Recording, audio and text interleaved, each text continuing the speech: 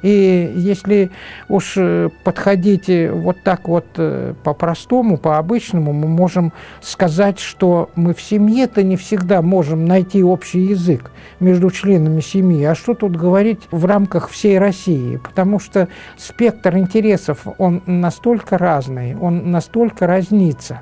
А и здесь еще накладывается вот то стрессовое состояние, потому что когда человек он не может ни спрогнозировать ни свое будущее, ни будущее своих детей. Он попадает вот в эту внутреннюю ситуацию напряжения, у него возникает внутренний конфликт с самим собой. И что получается? Получается то, что вот это вот внутреннее напряжение человека или стрессовое состояние приводит к декомпенсации основных регулирующих систем организма попроще, если выразиться, это так. Начинают в это время активно работать надпочечники. И в кровь вбрасывается огромное количество гормональных продуктов. До 50 гормональных продуктов сбрасывают в кровь надпочечники. И э, как только вот это вот избыток гормонов, он э, начинает воздействовать на белковый, углеводный жировой обмен, они, эти обмены начинают э, отклоняться от своего нормального состояния, то тогда идет автоматически э, блокировка левого полушария человеческого мозга, которые отвечают за логику здравого смысла.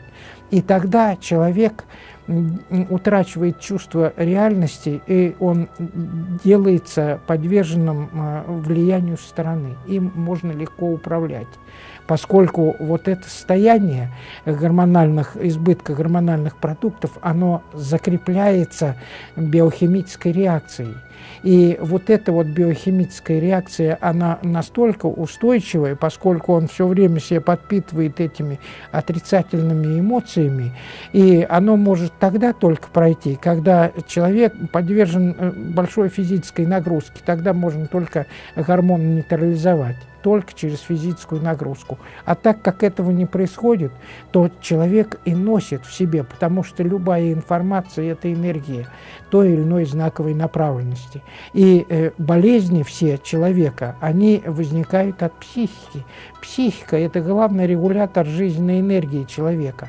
И психика у нас, она реагирует на образы, потому что мозгу нашему безразлично или реальность, или виртуальность. И взять, если, к примеру, я буду рассказывать, что вот человек, допустим, кушает лимон, кусает его так сочно, и текут, значит, э, сок течет, и слюни у него, выделение идет вот такое э, обильное, то э, человек, который это слушает, у него реакция органов будет соответствующим образом. У него тоже начнется обильное слюноотделение. Это то же самое. Это на виртуальный образ среагировали наши внутренние органы. Также и на остальные образы все реагируют. А теперь давайте посмотрим, какие образы нам несут средства массовой информации, кино и телевидение – и вот эти вот образы, там нету образов добра, очень маленькие крохи. Я вот, например, дома, э, когда э, ложусь спать, я смотрю только «Маша и медведь». Значит, вот эти вот мультики, поскольку тогда я отдыхаю. Но когда мне каждый день показывают трупы, показывают, как там происходит ситуация в Новороссии, там воюют, там воюют, а потом идут фильмы, сплошные, э, значит, э, убийства и стрельба, и взрывы, и огонь, и, а человек это все воспринимает, это все идет с отрицательным знаком, это приводит к тому, что он начинает испускать негативные вибрации, негативную энергию. А так как нас окружает в окружающем мире, мире очень много вот этих полевых образований различной знаковой направленности, эти образования, э, их называют эгрегоры. И вот эти вот эгрегоры, они начинают влиять на человека. И не только влиять на его здоровье, приводя его в разбалансировку, его внутренние органы, но и влиять на его поведение. Это и называется полевое управление людьми.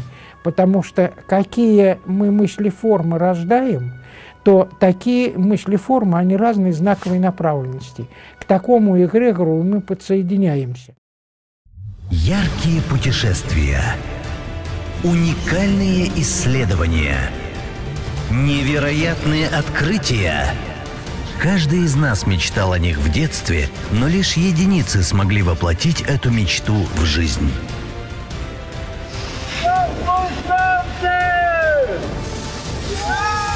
Достояние планеты. Подключайся к тем, для кого мечта стала реальностью.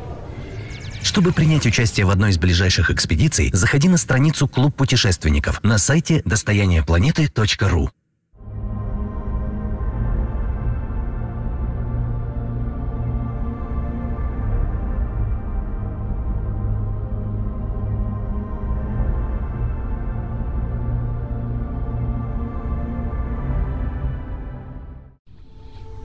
Достояние планеты. Нам есть чем гордиться –